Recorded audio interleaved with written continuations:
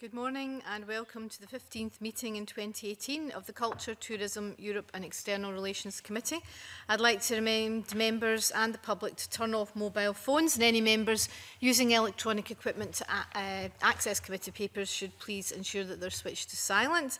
Uh, the first item on the agenda is a declaration of interests. Uh, Alexander Stewart and Jamie Green were appointed to replace Jackson Carlaw and Rachel Hamilton, respectively, as members of the Culture, Tourism, eh, Europe and External Relations Committee. Uh, and I'd like to warmly welcome Alexander and Jamie to the committee. And on behalf of the committee, I would like to extend our thanks to Jackson and Rachel for all the work that they did uh, during their time on the committee.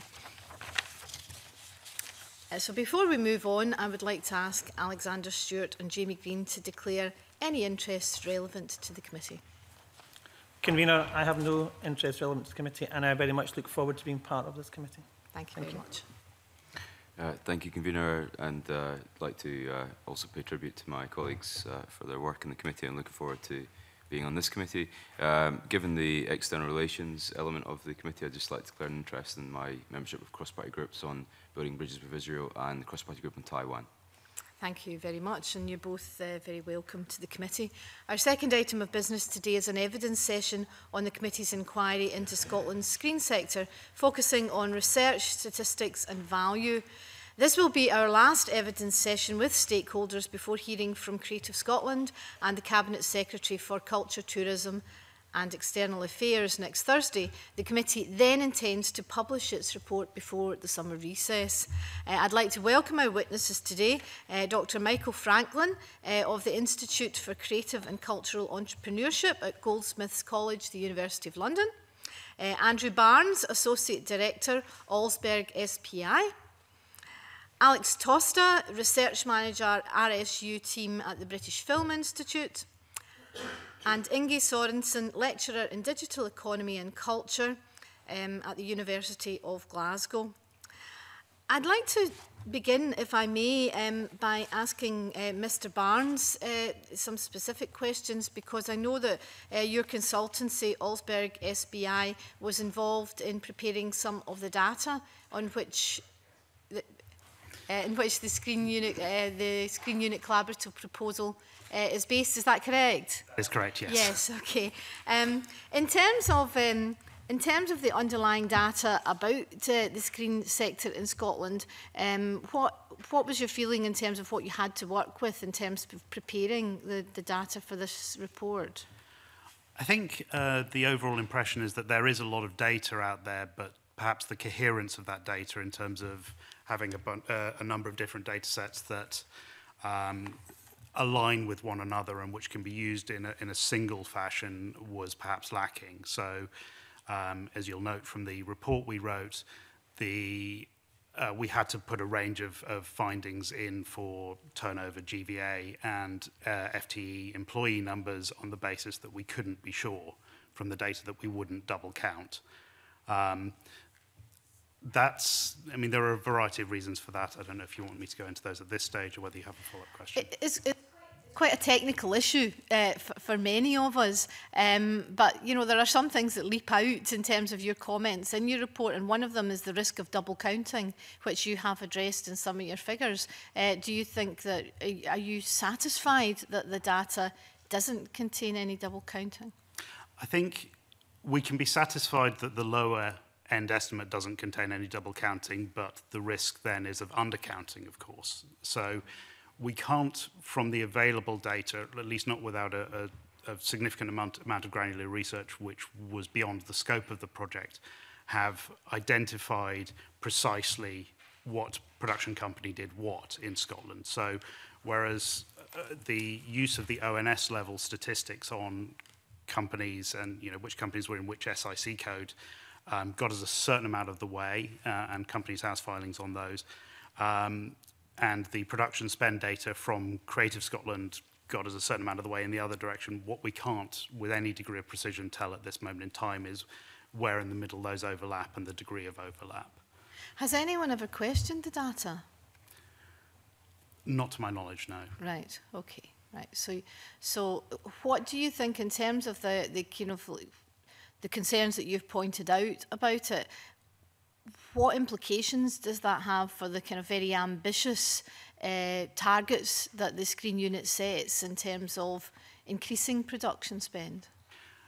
I would argue that the major challenge that you face in, in as, as a nation in, in uh, increasing production spend is knowing is to be able to identify the degree to which you've increased production spend and to accurately measure the impact of that at a future stage. I mean, um, we work across many countries, starting at a much lower base level than Scotland, in implementing screen uh, support systems.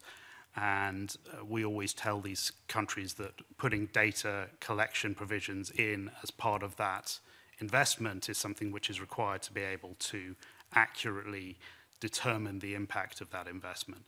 Um, so I think in Scotland, a certain degree of that exists, but there has to be the question of how one puts a data uh, collection methodology in place which allows you to um, evaluate the impact of the, the investments against their targets um, and then track that back to where you started. Um, the first part of that might not be possible, unfortunately, um, but the second part is absolutely critical as a, as a public In Scotland's practice. case, are you satisfied that we've got a robust process in place? Um, I, I haven't seen any data on what the process is for the screen sector leadership, uh, screen unit proposal as it stands, so mm. I can't, I don't think okay. I can answer that. And before I move on, I just want to ask something specific about about your data. You mentioned you mentioned that you include uh, non-domiciled um, cinemas, so I assume that's your, you know your multi-screens. So that is going into the overall kind of figures in terms of uh, you know the screen sector in Scotland in terms of employment and investment. I think probably most people, and certainly for the public, uh, purposes of our inquiry, we would uh, wouldn't think that you know your average multi-screen is really what we're talking about here in terms of uh, boosting Scotland's screen sector. Um, why was that put in? That was put in after discussion with our clients on this occasion. Uh, it was felt that without that particular piece of data, the overall report would provide uh, an underestimate of the impact of the, that part of the screen sector, and that reflects the fact that even if the screen, uh, the, the uh, beneficial owner of that particular cinema is not domiciled in Scotland, the wages which it pays to Scottish residents and employees would nonetheless have a downstream impact on the Scottish economy. Um, it's a tricky balance. That's why we disaggregated it in the way we did to make it very clear which bit was Scottish domiciled companies with a Scottish tax base and which bit was uh, Scottish employees only who would still uh, therefore receive some benefit from the State of Scotland that asked you to put that in. It wasn't necessarily your uh, inclination to include that initially. I can't remember which of our clients it was, whether it was Creative Scotland or Skills Development Scotland or Scottish Enterprise. Um, I'd have to look back through my right, notes to okay. tell. Right, thank you very much. I'll now uh, pass over to Claire Baker. Um, thank you, Convener. Um, it might be helpful if the panel could outline, I suppose, what areas of data are to be prioritised. Mr Barnes has talked mainly about the economic impact, but there has been submissions around audience participation and what the kind of softer value of the sector is. And also where uh, the panel identify where there are gaps in Scotland's knowledge, where we need to increase the, uh, the data. If everyone wants to. Okay. you. Um, so, from BFI perspective, I can show you how we would approach an issue like this. And for us, we'd be looking first for identifying what the outcome we would like to achieve from any kind of research or data collection. Um, and then from this would be identifying what are the key and critical questions that need to be answered from this. And then we'd follow this up with trying to identify what data is already available and what data needs to be accessed. I think it's very dependent on those, where, what your priority is regarding data collection and any additional research that needs to be carried out. Um, I don't know if any of the rest... Sorry. Sorry to interrupt. Do you think, I don't know if the panel's had a chance to look in detail at the screen unit proposals. They have published a fairly lengthy document so far that's, that's quite technical, but do you think the, um, it's clear enough what, the, what they're trying to achieve, what the outcomes are? as you say, that would then lead back to what do we need to collect in order to reach this stage. Do you think, do you agree with what they've identified and do you think they have the right priorities in place? I think because I look at data from UK level, I know that one of the limitations with any data is there's not the granularity to go down to a four nation level. So I do appreciate that that is, I, I acknowledge that that is one of the priorities, I think, from what I saw in the documentation, Um, how you would get that data, I think, would need further investigation. And I think uh, those are really, really good points. I think the um, the issue of interrelation of the data sets is, is really important. And as pointed out in terms of this, the UK level, there's certain things that um, every um, funder of films across the UK would like to know. And there's also specific questions you want to add this granularity at the Scottish level. Um, but I think in setting up that work, it needs to be passed and parcel. I think it was mentioned uh, earlier as uh, in when you're setting up any of the systems, it needs to be part and parcel of just the general work of business. So as distinct from, although there should be people with expertise within uh, statistics and, and understanding and delivering research on it, but as part and parcel of what happens the, the data is just part of parcel of you know allocating funding or um, the operation of the exhibition sector. So all of that is fed through as part and parcel of what's going on, as opposed to having to think every three, four years, are we doing it right? It should be a continuous, ongoing thing. And that should be linked to what goes on at the, the BFI, uh, but also at the, at the European level as well. So, I mean, I just wrote beforehand, it should be the, the role of teamwork, e-, especially making sure that data can be mapped across different areas is, is really important.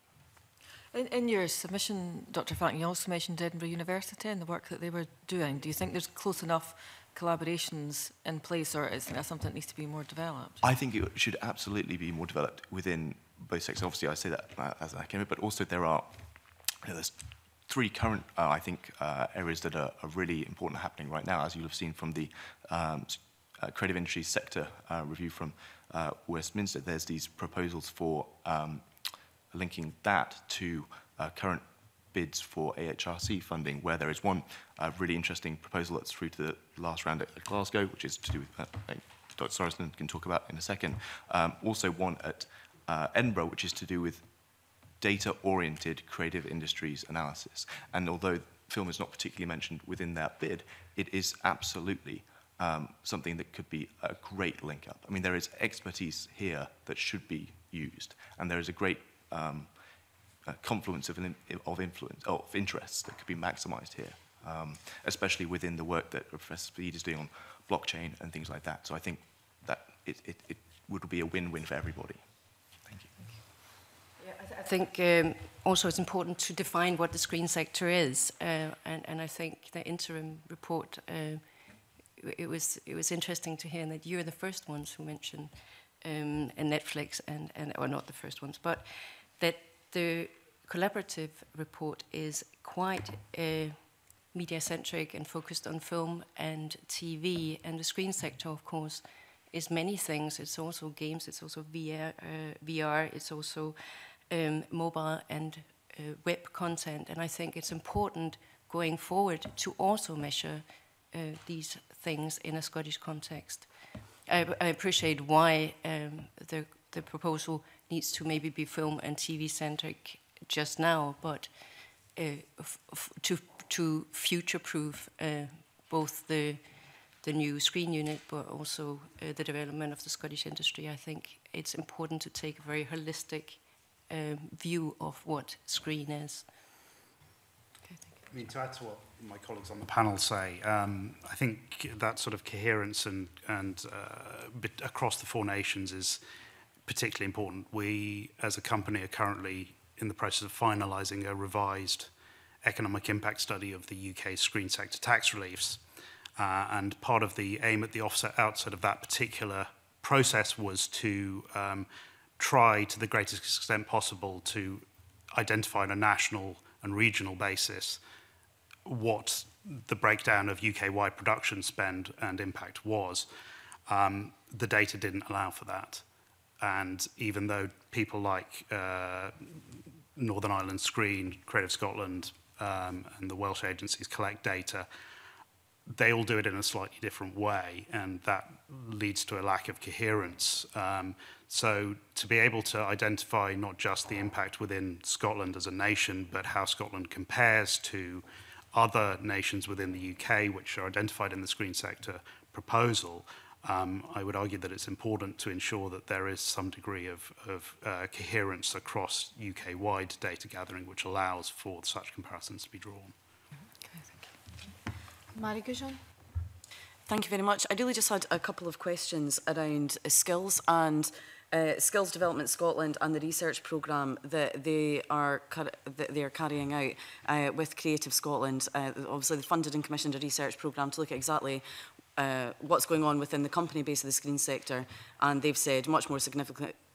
significantly what is going on within Scotland's freelance workforce. So it was really just to get your views on that and what you hope to see come of that. We also heard evidence as well that we think from others that they think that that should be an annual survey that's carried out. So it was really just to get your thoughts and opinions on that, please.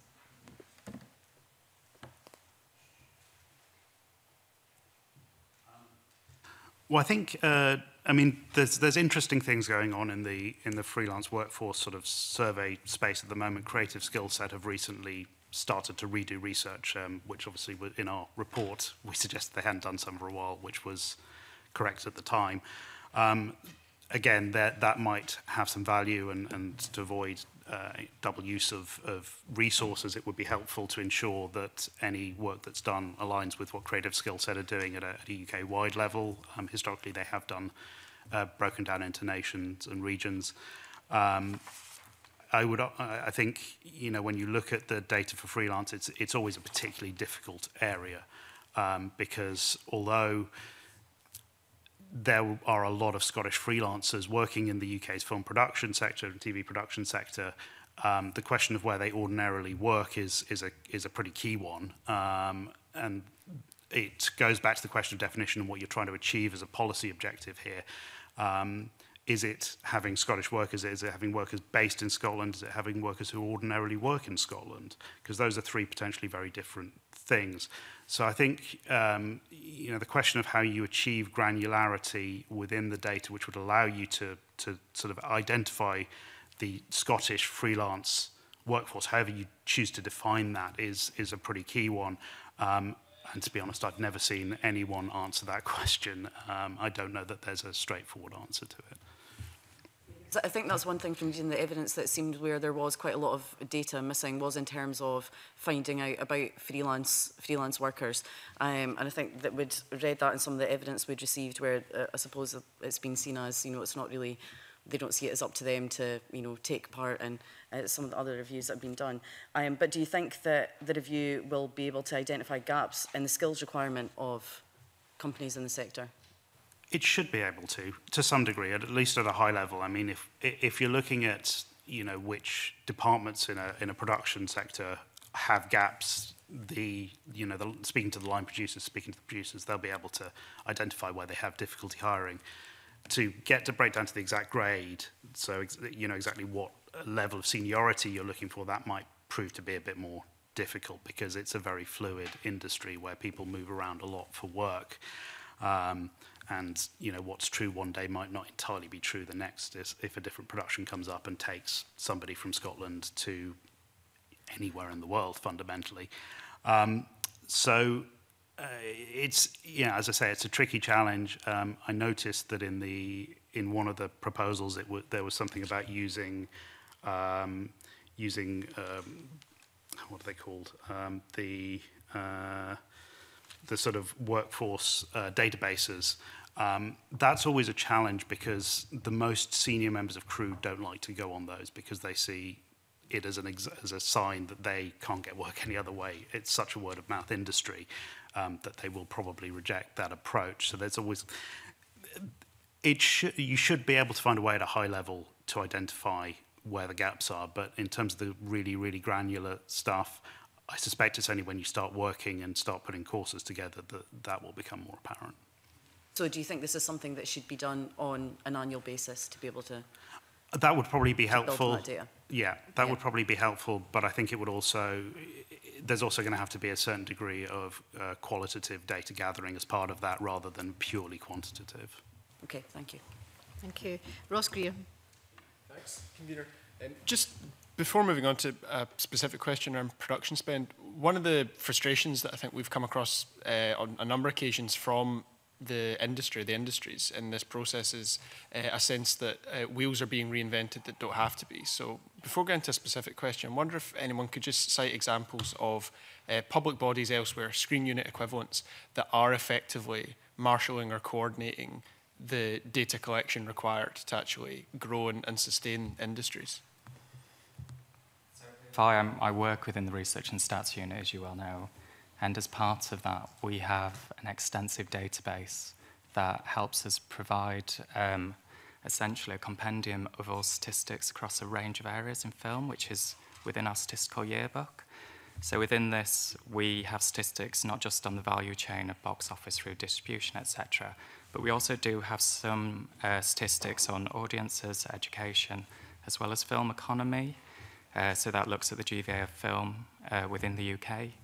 um, and also levels of employment. And we also look at public investment, so that just looks beyond the tax relief, but also looks to see who are the other public funders of film within the UK.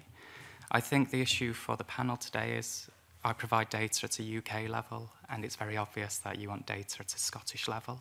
And a lot of the time, it's not easily available. So uh, as you're about to go into production, I'll mention that. So within production, we track all uh, productions that are made, so film productions that are made within the UK. But it's very difficult to get data to identify whereabouts that spending in the UK is, is uh, being done. So the nearest we get to that is we get some data on location of shoots. So for example, we'll know a production is shot in Scotland, but we don't know how long and we don't know how much money has been spent in Scotland. So that's just one of the issues. But going back to what I originally said, so already at a UK level, there's a UK level, there's quite a comprehensive range of data that is freely available. But unfortunately, I know you want it at a granular level, and we're limited by the data that's available, but we're also limited by if you go on the ground to a production, going back to the production spend, uh, the budgets don't work out that way if they say they want to do a month's shooting in Scotland, they will just have a budget for shoot, not where about that shoot is taking place.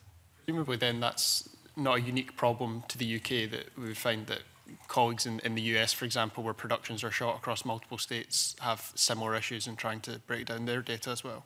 I know much detail about what goes on in, in other countries regarding production. I only know in a general way, but yes, it is pretty much that. So I know when you get a large studio coming to the UK to shoot here, they will have, they'll be able to say, this is our UK budget, but and this is what our spend is elsewhere, but they won't be able to go into, oh, we've done some shooting in Scotland, say, and this is how much we've shot in Scotland, and this is the cost that, of that. I mean, to speak to your question about the United States, um, because of the, the, the different way that uh, film incentives work in the US, um, and we've recently, actually maybe a year ago, finished some work in the state of Georgia on this um, there tend to be good data on production spend on a state-by-state basis because it's the states themselves that incentivize the production and same in Australia, same in uh, Canada where the provinces um, provide incentives.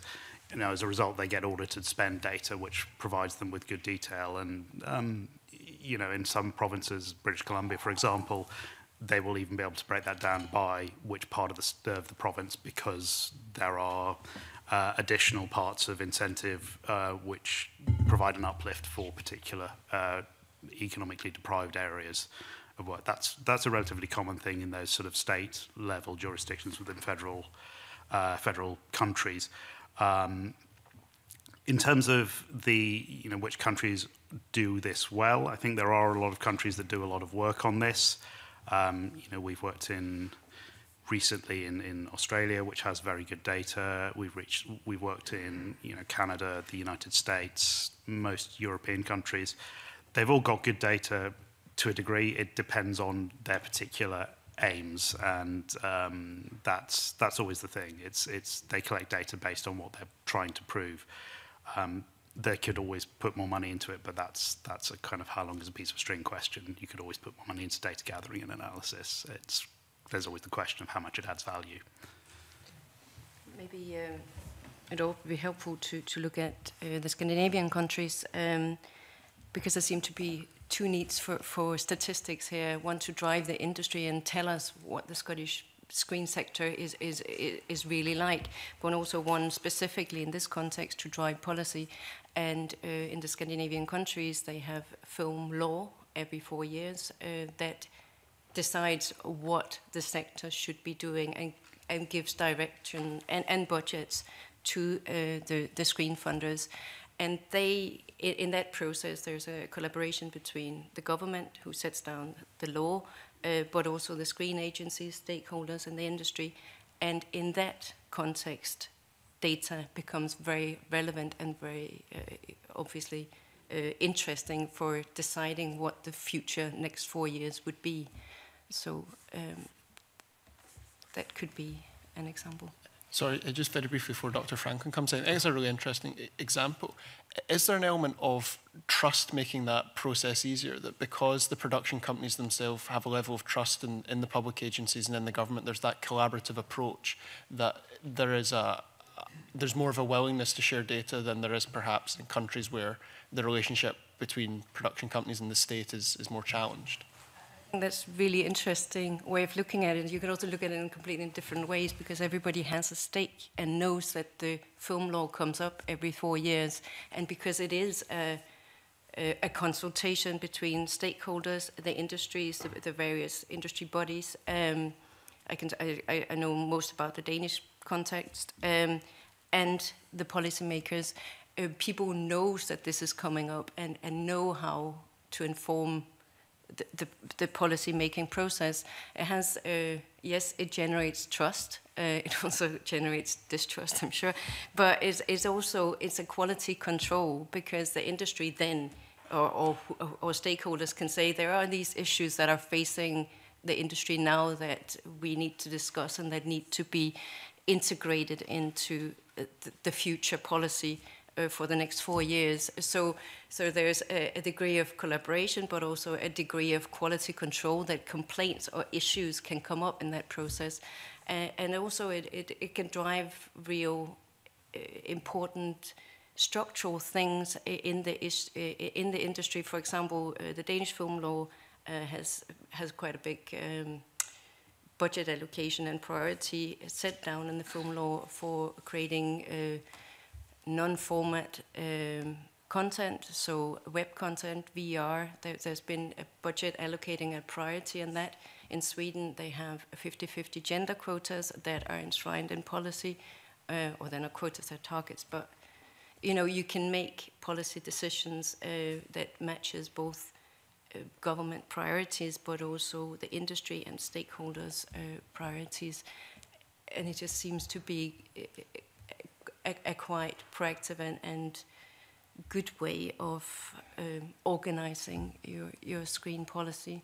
It also means that it takes, you know, the screen unit, maybe as it stands, I don't know, uh, but uh, so far uh, Creative Scotland has decided in a way what their own priorities uh, would be for the screen sector, uh, and that I'm sure takes a lot of energy and, and time and, and, and uh, resources, whereas if that's kind of a given and it's the agency's role to best deliver this particular film law, um, that seemed to uh, create maybe a better process and a more transparent process as well. That was a really useful example, thank you. Could I just Are we finished? Or Sorry, just very good. I just think it's a really good point about the trust issue. Just to come back on that and add to, I think what Mr. Barnes is saying, a very, very interesting point about um, you can always spend more on how long a piece of string idea, right? In terms of that level of uncertainty about how data will be used and to what benefit, there is that element of risk about we don't know the ultimate benefits if we go down that, that route. And so I think that is when, when there has been historically a little bit of lack of wanting to participate or to collect data within Scotland. It's been about, oh, what will be the benefits? And there is that, that uh, ongoing uncertainty which requires sort of the work.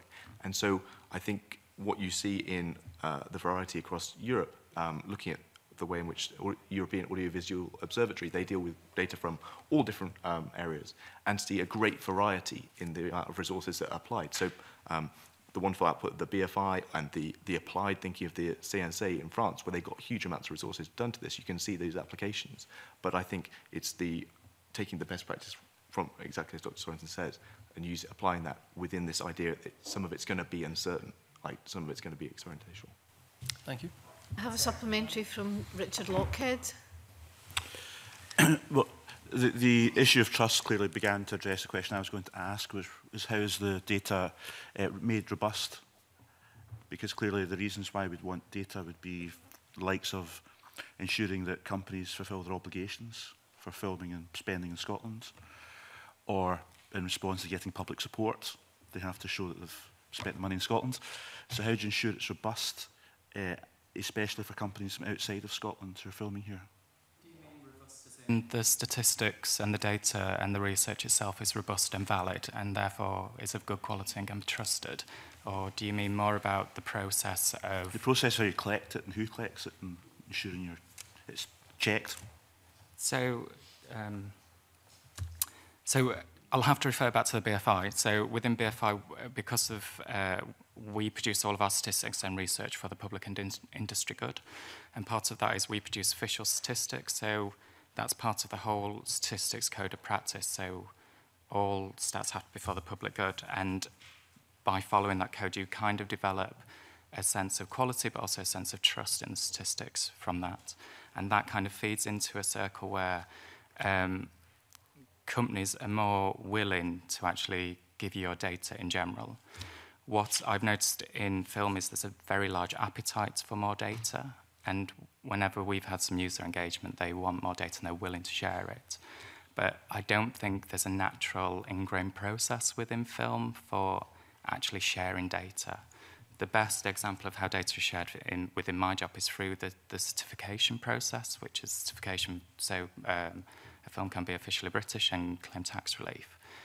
And part of that is they see a benefit for the production of the film but also this has been uh, this process has been established for many years now, and it's also been reviewed uh, officially. And I think uh, this has been backed up by a team that has gone out to the industry and actually provided guidance of how they can provide this data.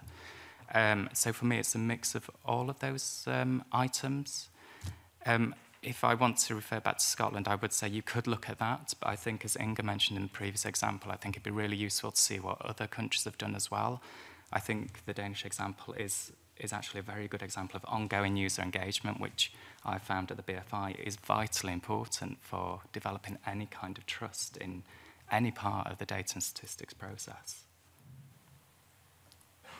I mean, I think to speak to the question of how you ensure that people are, have uh, obeyed uh, their obligations, um, the standard way is, is to have those data audited. Um, auditors tend to be required for every incentive system and, every, and a lot of public funding where there are spend requirements of that kind. Um, you obviously, they have a, a particular duty under law um, in relation to, to how, you know, how they sign off data, and, and that leveraging that duty tends to be the approach that is taken in most jurisdictions. Can I just follow on from that? Because you mentioned um, different states of America and provinces of Canada earlier. Um, have you had the opportunity to look at just how, how rigid they are about making sure that companies that say they're spending the money in Georgia or British Columbia or whatever it is are actually doing so? And how does that compare with how we test that kind of data here? I can't speak to how you test that data here. I've never looked at it in detail, so I'd, I'd sort of um, refer you to Creative Scotland for that one because I uh, because we didn't we didn't look at that. In terms of how this gets done in other jurisdictions, they tend to be very robust about how this this gets uh, this gets done. I mean, um, there have been cases where, uh, there have been cases in the UK where audited spend statements have been proven to be incorrect and those people have ended up in jail because of that particular um, issue. Um, so, uh, and we know from, from conversations with producers in, uh, in Ontario at least that the, the volume of checking which is required has led to quite a lag in, in how long it takes them to get their, uh, their funding back from the, uh, from the Ontario provincial tax credit system. So it it all speaks to us, uh, to systems which are robust, um, which take a lot of care in how the money is returned to productions which have availed of their tax credit systems and other in, and other selective funding systems and where producers tend to see it as a cost of doing business to to put that audit requirement in place. There's two things going on here. There's what we're talking about here, which is incentives from for film, mainly through Creative Scotland or the UK government. But there's also, as you're aware, a separate Ofcom reviews going on in terms of the regulations of out of London spend uh, that we're talking about. So that that kind of issue around robustness would apply to both those, wouldn't it? It should do, yes. Yeah. Um, I, again, I can't speak to how Ofcom collect their data. I've, I've never looked into it in detail. Yeah. Okay. Thanks very much. Stuart McMillan. Morning panel. Um, just, just like to pick up on a couple of points um, from questioning from uh, Marie Goujon. I think the, the point was raised regarding a, a yearly update uh, of data.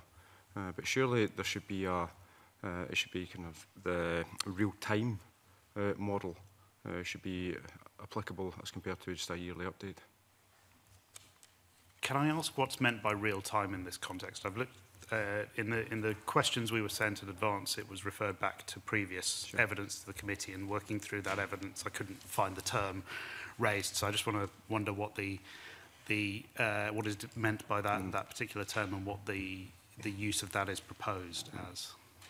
Uh, that's, uh, I, I was thinking uh, in terms of uh, kind of other sectors, uh, and prior to me becoming a, a parliamentarian, I, uh, I worked in a, an electronics company and the, the data that was collected uh, was done on a daily basis. Now, I'm not suggesting that because I think that would be extremely difficult for the, for the wider sector.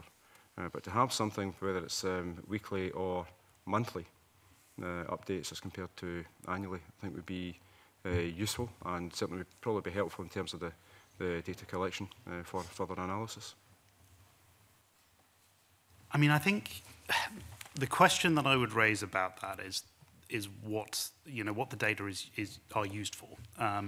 because um, one of the, the things we've often found working around the world is that production companies, I'll, I'll speak about production companies in this, in this instance, have an anticipation that if they have real-time data about what's being produced, what the market is doing, what the you know how what consumers are interested in, they'll be able to make films which or television programs which hit those particular demands.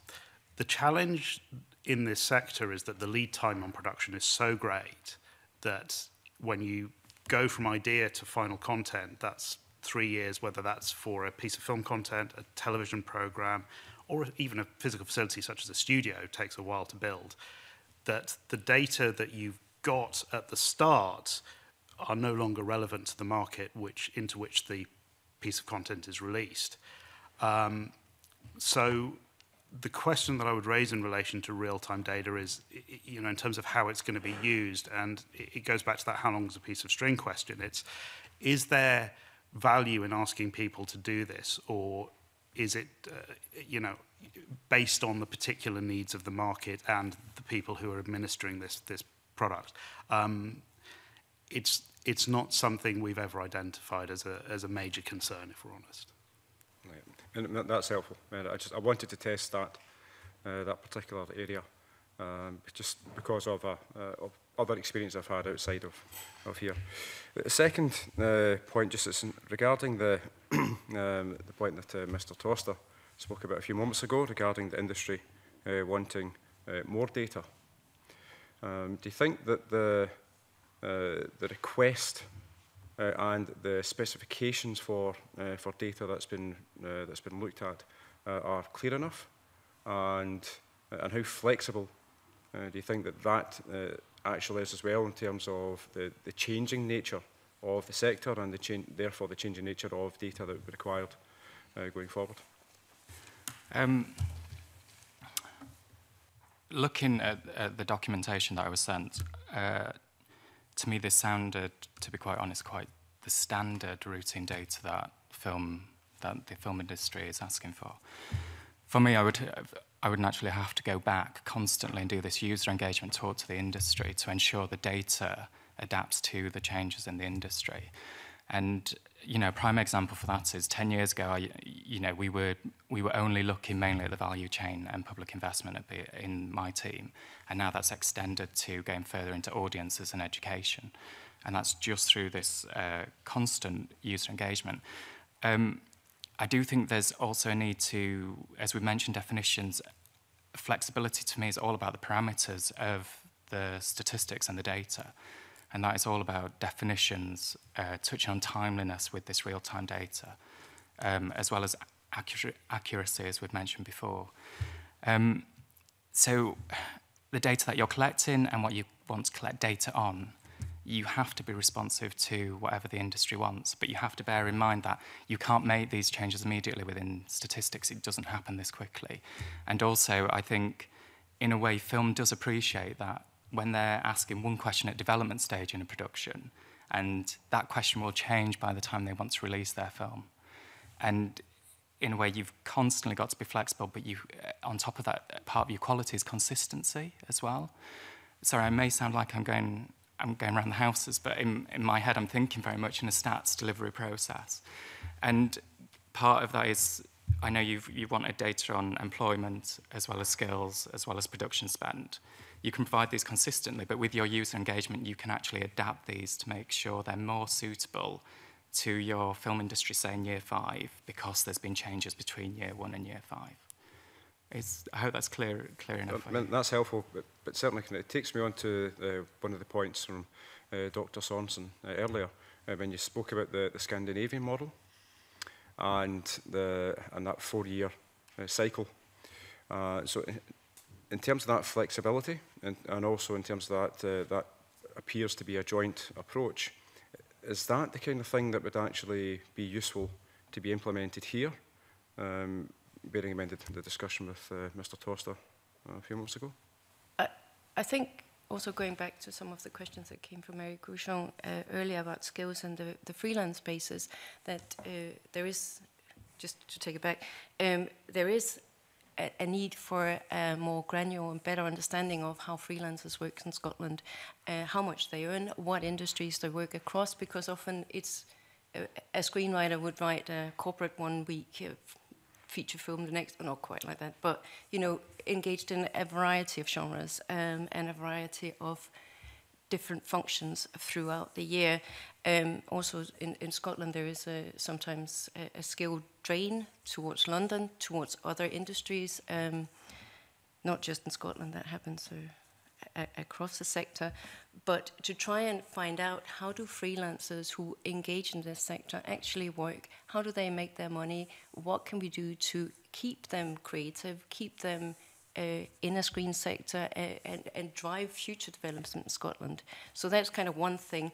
And that, I think, could feed into trying to, A, identify what are the future trends, you know, is there throughout the years, do people start working more for uh, Netflix or developing content for them that they do for the BBC or whatever.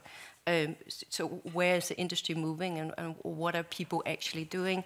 Um, and also identify the, the, the skills needs, but also identify how can they continue uh, being creative in Scotland? Um, what what does it, does it take? Is it I don't know tax incentives, or, you know, whatever, um, and that could maybe feed into bigger statistics. It, it wouldn't be what you were doing. What were you? Is, is that does that answer your question? I'm not sure. I, I a, think I veered off off course there. Yeah. It certainly, it sounds like that. Uh, uh, it sounds like needing to move to a, kind of a big data approach uh, without uh, potentially having that clarity in terms of what the data should be, what's actually going to be required, uh, and also potentially some questions in terms of uh, do we have the, uh, enough technology there to actually gather that information and collate it, as well as the skills to do so, and also the, the capabilities uh, within the unit to, to actually deal with that.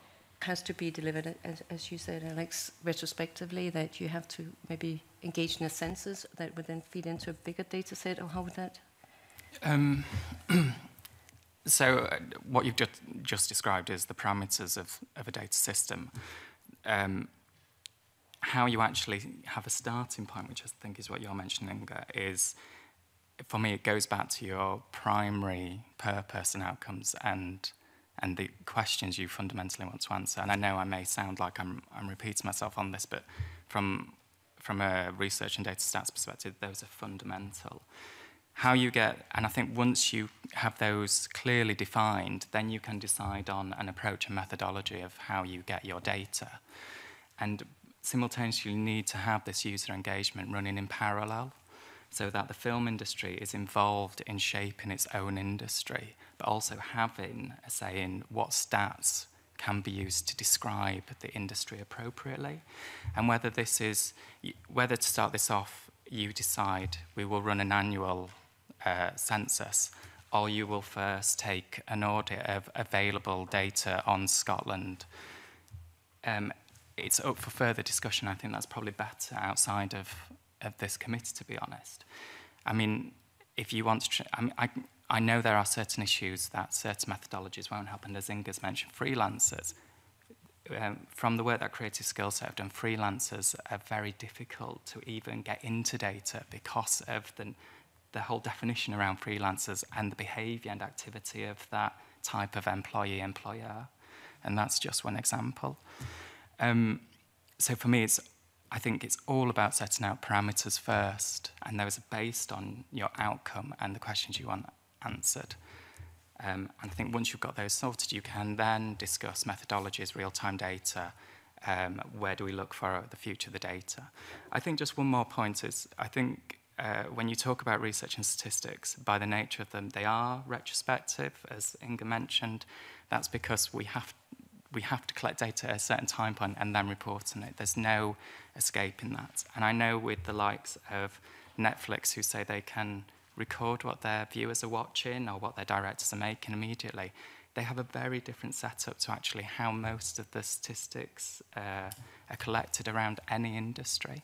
I think that's just important for, for the panel to know about when you are making further considerations about a screen unit for Scotland. We have to, we've got two more members so um, to ask questions, so if we could keep um, answers quite succinct, that would be very helpful. Uh, Alexander Stewart. Nina, and good morning panel.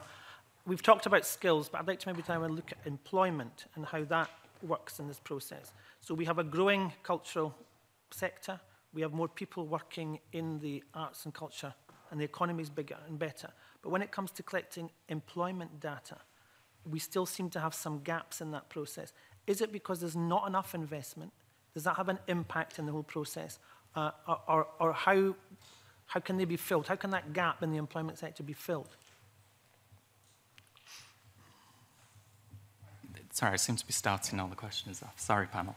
Um, From a data perspective, so at uh, BFI, when I'm reporting on employment in the industry at a UK level, we get our data from the Office for National Statistics. So these are collected from their various business surveys um, and their population surveys. And I mentioned business because I look at it in a whole of uh, GVA and number of companies, etc. And uh, one issue we face with providing data at a, a lower level, so at the four nations or regional level, is often the data has been suppressed because it can disclose either an individual or a company. And that is one data issue I think that, uh, well, I have in Scotland. I was checking the employment figures yesterday and, and actually they've been suppressed for parts of Scotland. Um, so that hinders me from providing a UK picture. How you would fulfill that gap is, is, quite, is quite difficult actually because um, – beyond the official statistics will always suppress and because of uh, their rules and regulations around uh, disclosure control. Um, I think it would need further investigation of whether you do an, an additional research or additional data collection on this.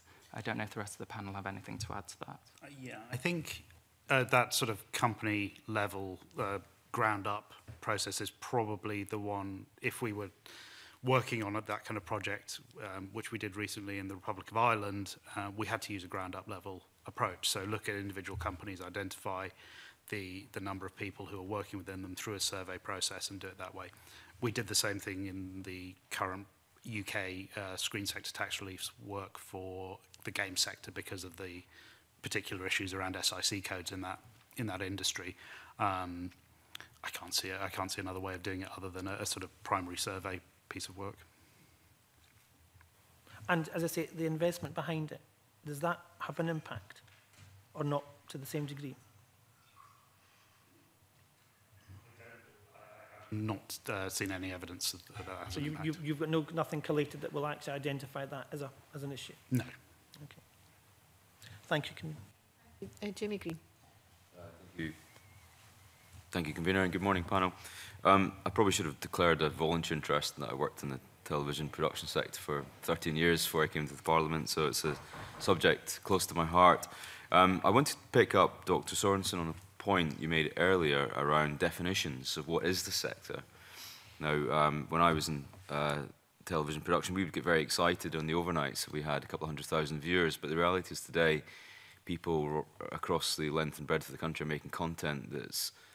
achieving millions of views uh, overnight and, and monetizing that. So uh, given that the, the sector has evolved outside of traditional um, film and television production uh, to the online world, to, to web production, uh, content in the charitable or not-for-profit sector, VR and gaming production, advertising and so on. Um, how do we best collect uh, data in all those other aspects of the production sector, which are the Uh, the ones that we probably talk about the least uh, in reality, uh, and who should be responsible for collecting that sort of data? The big question. Uh, I think one way maybe to look at this is that currently uh, the screen units work, or the, the future screen unit, and most screen work is very focused on production and stimulating and funding production.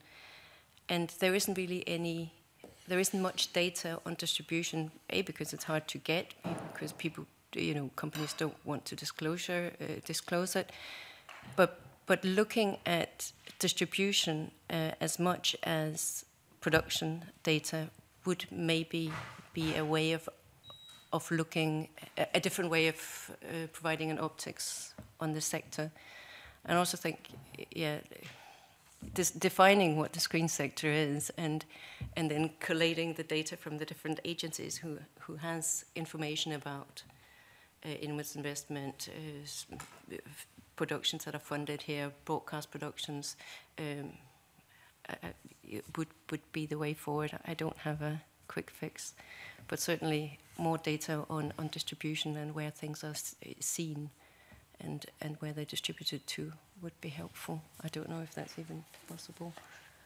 You would know better than me. I think when we, we talk about the digital landscape and it's created this new extension to the screen sectors, I know uh, BFI is, I think because film is also it, it's quite nebulous when you when you start getting into it. It's, it appears to be structured, but actually it has elements where there is not much structure about it, which makes gaining any information about it is sometimes quite difficult beyond, say, official data collection or how we look at production, where we actually employ someone to track production in the UK. And I think there's a, a general difficulty in understanding of, of what this, these new, they're not really new screens, but this new digital area actually is, let alone starting to track it and what it's doing and what does it contribute to the economy overall, say. Um, I mean, one way we do it at BFI, we started really basic, basic in, in a way, but it's not it's still quite complex where we've, we've started following um, a productions and developments in high-end television, children's television, animation television, and video games that are, uh, are going through the certification process and uh, trying to become officially British, and that's just a starting point. I think there is an element that this is a sector where in a way they traditionally have, have not been in this data sharing world or providing data to see what's going on because they, they it appears that they either want to keep within themselves, say like Netflix, which you can watch anywhere and any how, or if you're in, say, the gaming world, they kind of know what's going on and there's a lot of uh, the, there's a lot of kind of network infrastructure from what I've gleaned from my, my from the little I know about it. So overall, it, it's quite difficult because at the moment we have quite a, a structured and almost traditional approach to collecting data on these new sets, but they are not traditional in a way.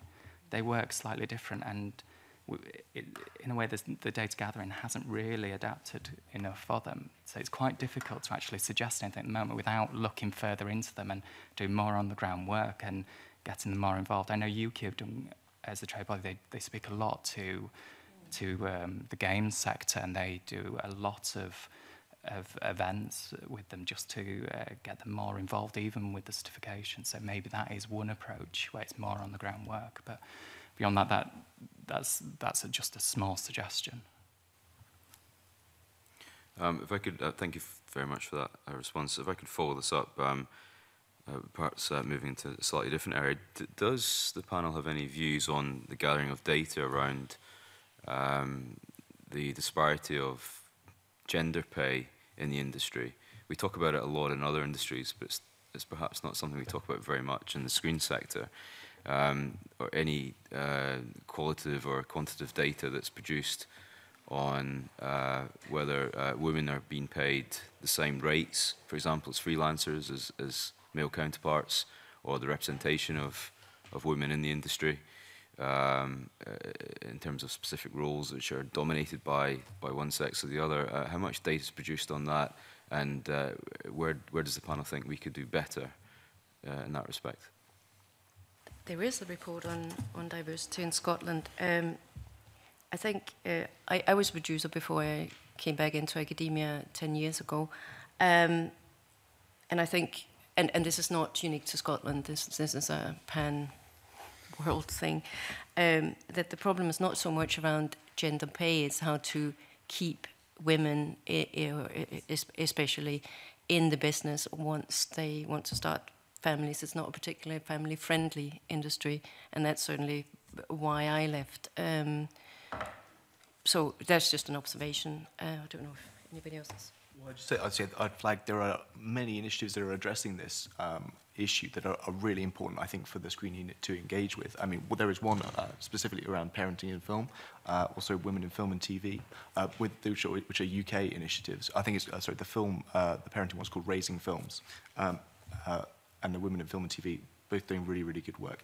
Again, then at the international level, there's the Annenberg. you may have come across this. Um, inclusion rider, if you like, a, an equality for pay issue, which can be put into um, a contract uh, at the budgetary level. That you know that when um, public funders receive applications, they get a budget, and that will have breakdown of certainly at a high level um, the named cast uh, pay parity. So that information is is there within um, within funders, and certainly also in commercial bodies. I think um, foregrounding the importance of this issue is absolutely vital. um, I think related on um, the second question, part of your question was about um, representation, representation on screen. And I'd just like to flag um, there's some great work which is being done by uh, Mr. Toss's colleagues within uh, BFI. Um, Mr. Anson uh, did a presentation on, on Monday about using their filmography database to allocate, you know, where different um, genders, ethnicities are being represented, underrepresented in the whole of the filmography of, of British film. And that's absolutely something I think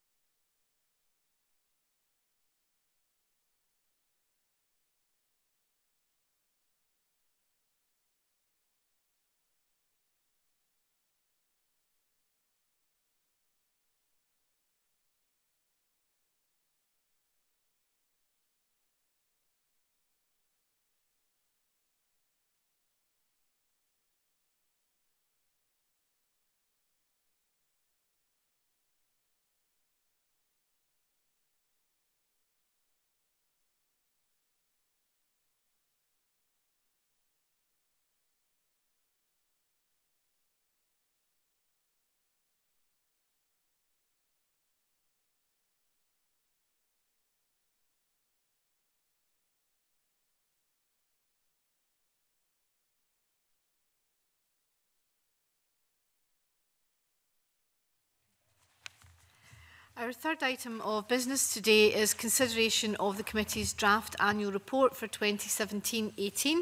Uh, before inviting contributions from other members, I have a couple of uh, observations that I would like to make. Uh, on page 9 of the annual report in paragraph 18, I think we should put in an additional sentence that explains that uh, we've agreed to wait uh, for the Migration Advisory Committee to publish its final report for the Home Office later this year before returning to our immigration inquiry. I think we all decided that, and that's the reason why um, we we're kind of waiting uh, and we haven't taken any more evidence on that particular subject. Are members agreed with that? I think it just clarifies matters.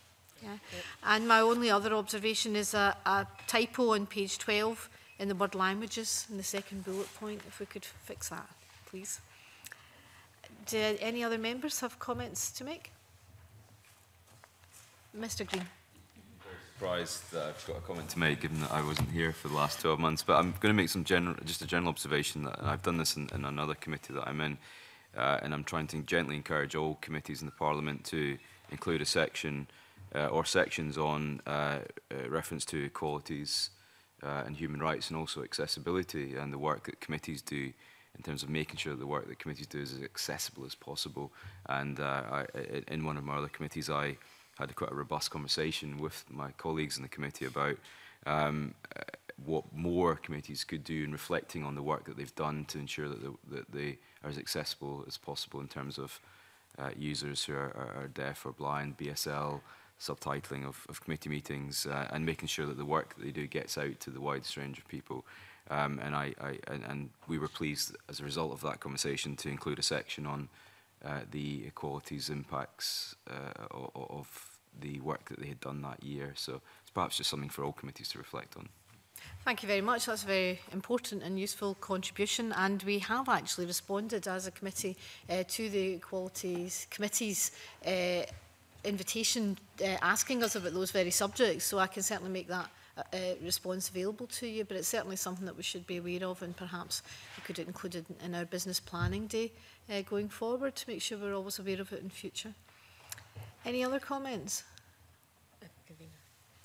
Uh, on page seven, around the Erasmus and Plus inquiry, it doesn't mention universities anywhere as linked to the Erasmus programme, so I just thought mentioned somewhere might be.